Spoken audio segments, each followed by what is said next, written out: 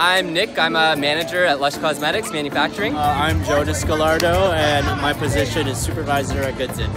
My name is Lorna Barkley, and I work in the ballistic department. I'm a PA. Okay, my name's Louie, and I am a compounder in Lush. Um, and I'm a training manager. And I'm Sarah, I'm a training specialist.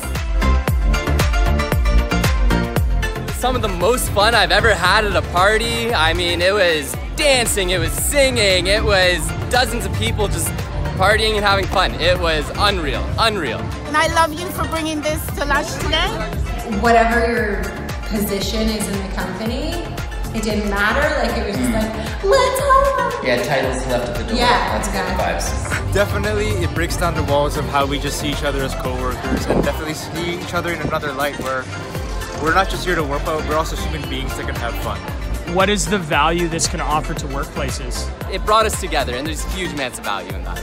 Yeah, it was the bonding. It was the way the energy turned into experience. So encouraging, like encouraging each other and supporting each other and the safety, the circle of safety that was going on was really special.